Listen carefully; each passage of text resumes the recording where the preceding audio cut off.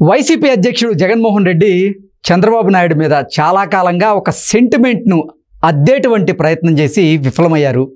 చంద్రబాబు గారు ముఖ్యమంత్రి అయితే వర్షాలు పడవు.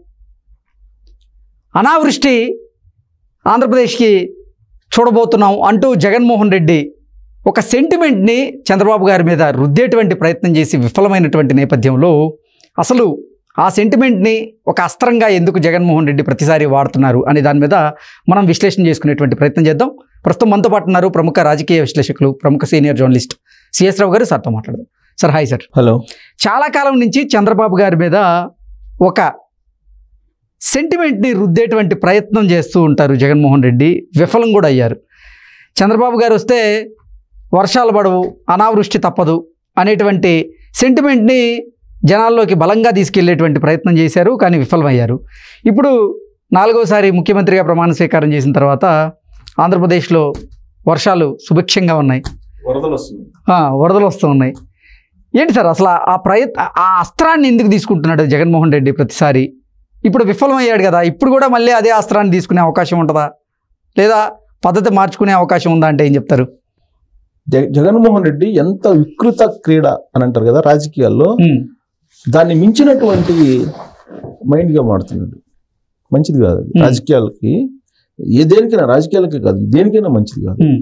ఒక స్పోర్టివ్ థింకింగ్ తోటి వెళ్ళాలి. పాజిటివ్ థింకింగ్ తోటి వెళ్ళాలి.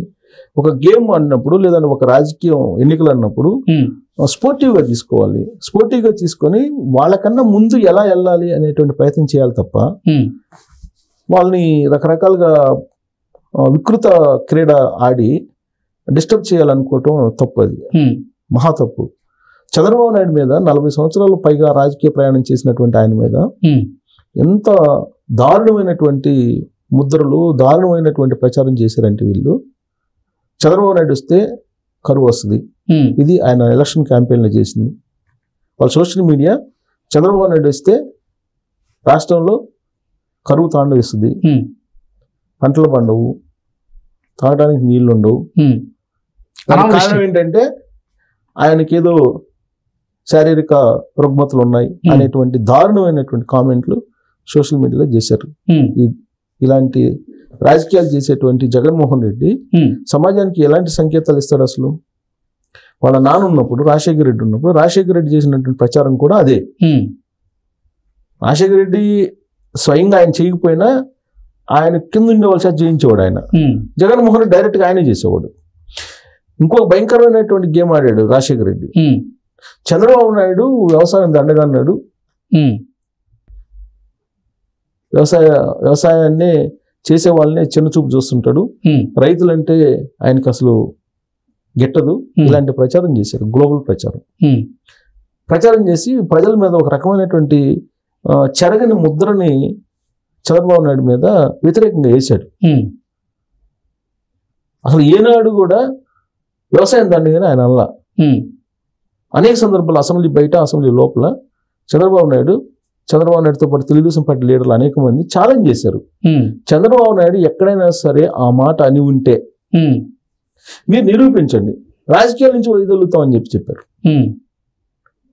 లాస్ట్కి వాళ్ళు ఏం చేశారంటే అప్పట్లో ఉండేటువంటి ఒక పేపర్ క్లిప్పింగ్ తీసుకొచ్చారు. క్లిప్పింగ్ ఆ క్లిప్పింగ్ తీసుకొచ్చి వ్యవసాయం దండగా చంద్రబాబు నాయుడు.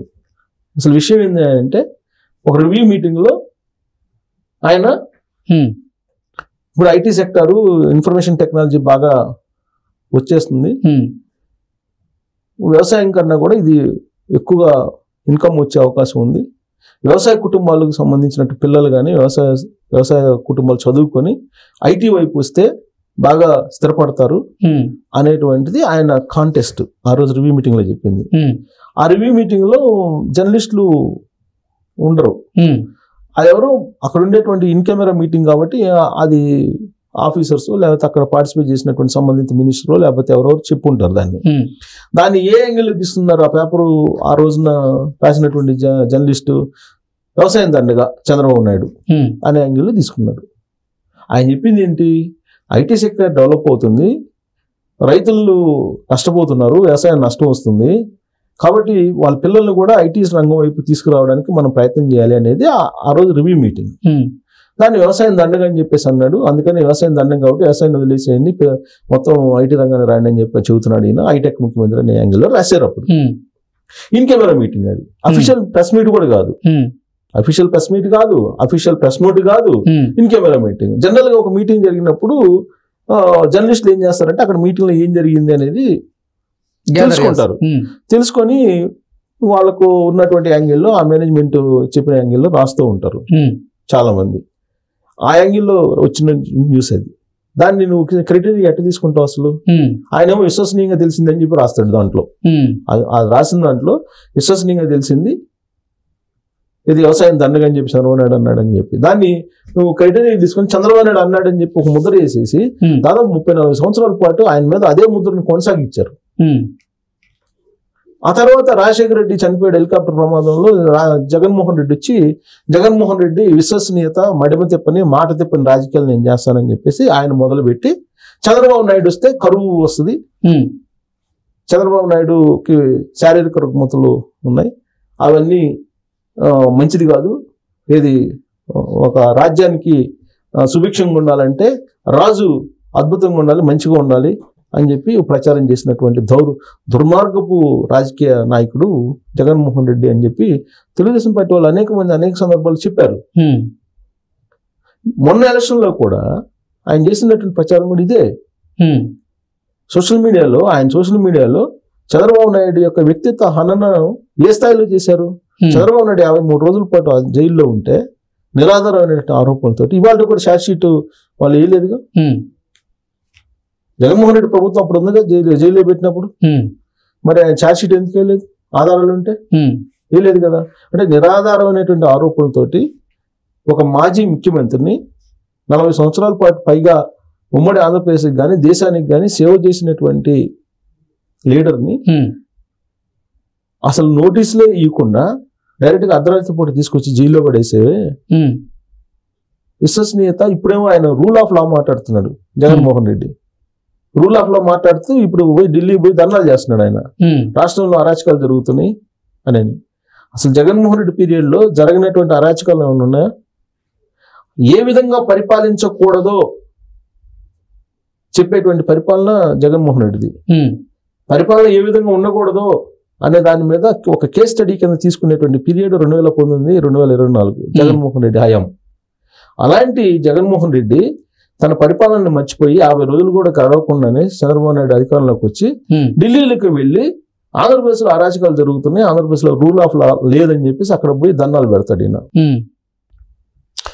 వ్యక్తిత్వ హననం చేయటంలో వైఎస్ఆర్ కాంగ్రెస్ పార్టీ కానీ జగన్మోహన్ రెడ్డి కానీ జగన్మోహన్ రెడ్డి టీం కానీ అసలు హై అండ్ ఇంకా అంతకన్నా వ్యక్తిత్వ హననం చేసేటువంటి చెత్త టీం ఇంకోటి ఉండదు అనుకుంటున్నాను నేను. ఓకే. ఆ పదం ఎందుకు వాడుతున్నానంటే షర్మిలని వ్యక్తిత్వ హననం చేశారా? ఆమె ప్రైవేట్ జీవితంలోకి వెళ్ళారా? చంద్రబాబు నాయుడిని అసెంబ్లీ వేదికగా అసెంబ్లీ లోపల చంద్రబాబు నాయుడిని ఏడిపించారా? చంద్రబాబు నాయుడు సతీమణి భువనేశ్వరి శీలాన్ని శంకించారా? లోకేష్ పుట్టుక గురించి మాట్లాడారా? చంద్రబాబు నాయుడు శారీరక రుగ్మత గురించి మాట్లాడారా? ఇక నా ఎన్టీఆర్ ఫ్యామిలీ గురించి మాట్లాడారా? అసలు ఎవరి గురించి మాట్లాడారు? వ్యక్తిత్వ హననం వీళ్ళు చేసినటువంటి స్థాయిలో ఎవరు చేసి ఉండరు. సో చంద్రబాబు నాయుడు మీద ఒక కొన్ని దశాబ్దాలుగా తీసుకొస్తున్నటువంటి ఏదైతే సెంటిమెంట్ ఉందో ఇది ఆయన వస్తే కరువు వస్తుందని ఇప్పుడు చంద్రబాబు నాయుడు వచ్చిన తర్వాత మొన్న ఈ మధ్య కూడా చంద్రబాబు నాయుడు పదవి ప్రమాణ స్వీకారం చేసిన తర్వాత వర్షాలు పోయినాయి అని చెప్పి ప్రచారం చేసినటువంటి మహానుభావులు వైఎస్ఆర్ కాంగ్రెస్ పార్టీలో ఉండేటువంటి సోషల్ మీడియా. మరి ఇప్పుడు ఏమంటారు గోదావరి కృష్ణ పొంగి పొరులుతున్నాయి అక్కడ. పుష్కలంగా నీళ్ళు వచ్చినాయి. గోదావరి కృష్ణ పొంగి పొరులుతూ ఉంటే రాయలసీమకు కూడా నీళ్ళు పంపించేటువంటి ప్రయత్నం చేస్తున్నాడు పట్టిసీమ ద్వారా. రాష్ట్ర సుభిక్షంగా. రాష్ట్రం సుభిక్షంగా ఉండాలని. ఉమ్, రాష్ట్ర వ్యాప్తంగా వర్షాలు పడుతున్నాయి సకాలంలో. మరి ఇప్పుడు ఏం చెప్తారు? చంద్రబాబు నాయుడు వస్తే కరువు వచ్చిందని చెప్తారా? లేకపోతే చంద్రబాబు నాయుడు వస్తే కరువు వరదలు వచ్చినాయని చెప్తారు ఇప్పుడు. ఏం చెప్తారు? అంటే మొన్నటి వరకు అనావృష్టి అన్నారు ఇప్పుడు అదే అతివృష్టి అంటారేమో. అదే ఇప్పుడు మరి మొన్నటి దాకా కరువు వస్తుంది అన్నారు. ఇప్పుడేమంటారు ఇప్పుడు జగన్మోహన్ రెడ్డి హయాంలో ఎంత పంట పండింది? ఎంత దిగుబడులు వచ్చినాయి? లెక్క తీసి తెలుసుదిగా ఈయన మరి ఈయన ఈయన రాజ్యాన్ని వెళ్ళినప్పుడు రాష్ట్రంలో ఉండే పరిస్థితులు కనుక చూస్తే దాదాపు మూడు వేల హత్యలు జరిగినాయి. ముప్పై వేల మంది కిడ్నాప్ అయ్యారు. జగన్మోహన్ రెడ్డి హయాంలో అమ్మాయిలు. మరి దానికి సమాధానం చెప్పాలి ఆయన? ఇప్పటి వరకు. సో రాష్ట్రం సుభిక్షంగా ఉండాలంటే ఒక మైండ్ సెట్ ఉండాలి. ప్రజాసేవ చేయాలనేటువంటి ఒక దృక్పథం ఉండాలి. అలాంటి వాళ్ళు రాజ్యాన్ని రాజ్యాన్ని వెళ్ళాలి కానీ జగన్మోహన్ రెడ్డి లాంటి కుంచిత మనస్తత్వం కలిగినటువంటి లీడర్ కాదు. చంద్రబాబు నాయుడుకి ఆ ముద్ర వేసేసి సెంటిమెంట్ ముద్ర ఒక ముద్ర వేసేసి ఆయన వస్తే కరువు వస్తుందని. ఇక్కడ బీఆర్ఎస్ వాళ్ళు కూడా అదే ప్రచారం చేశారు. ఒకే డిఎన్ఏ కదా ఆ రెండు పార్టీలు. సో ఇలాంటి చౌకబారు చౌకబారు ప్రచారంతో రాజకీయాలను నడపాలని చెప్పి జగన్మోహన్ రెడ్డి అనుకుంటున్నాడు. అవి తప్పు అని చెప్పి తేలినప్పటికి కూడా ఇంకా వాటిని నమ్ముకొని ఆయన కుక్కతోకు పట్టుకొని గోదావరి ఈదినట్టు రాజకీయాలు చేస్తున్నాడు ఆయన. ఓకే. సో ఆయన రాజకీయాల్లో మునిగిపోయేటువంటి ఆల్రెడీ మునిగిపోయాడు. అసలు కంప్లీట్గా ఆ పార్టీని క్లోజ్ చేసేంత వరకు ఇలాంటి సెంటిమెంట్స్ ఇలాంటి చౌకబారు రాజకీయాలు చేస్తే ఎక్కువ కాలం కూడా ఆ పార్టీ నిలబడదు అనేది మనం విశ్లేషణ చేసుకోవచ్చు. Okay sir. Thank so much.